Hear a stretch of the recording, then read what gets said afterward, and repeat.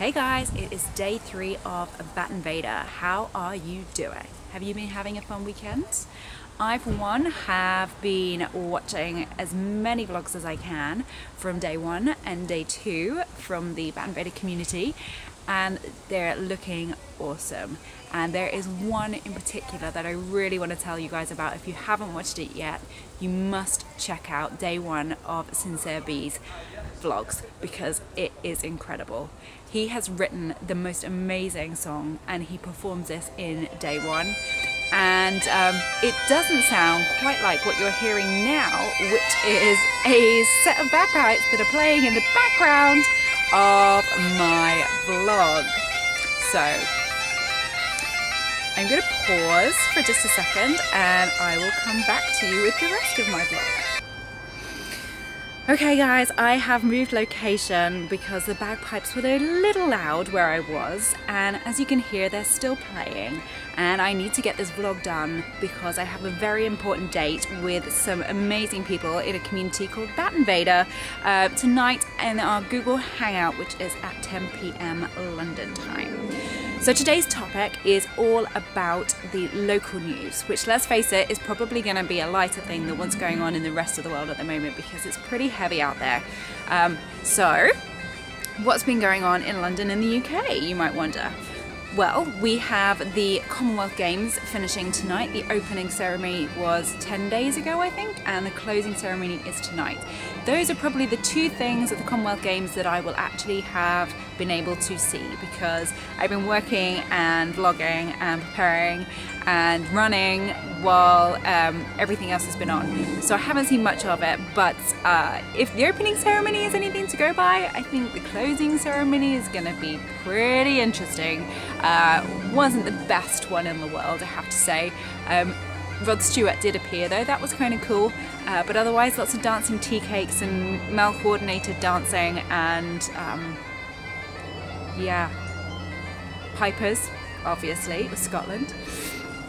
But what else has been going on? Okay, so Zoo Lates. Zoo Lates is a an event that happens at London Zoo and it's as you from the name you can probably guess it's when they open up the zoo late and they let people in to have a drink and there's a little fun fair and you get to see some of the animals. Uh, but there's been a little bit of contention about this because it seems that some of the guests who are coming in have actually been it's horrible to say, but throwing their beer bottles at some of the animals, which is just horrific.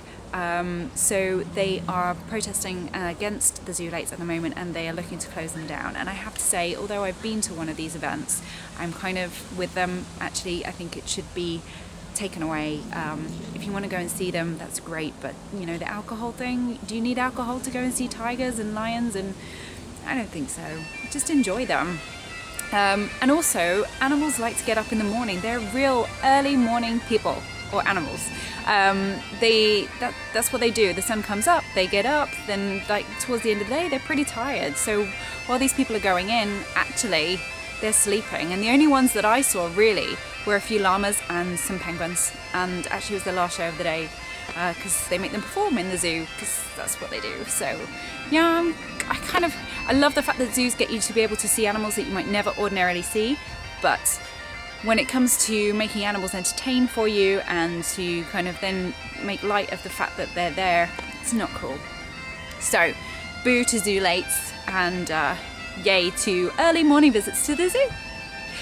And finally, the other thing that has been going on in the press this weekend is that the Department of Health has given the uh, sperm banks in the UK a boost of £700,000, which is hopefully going to be able to make sure that couples, same sex and um, kind of uh, other couples, every, every kind of couple, why do I always get stuck on things like this?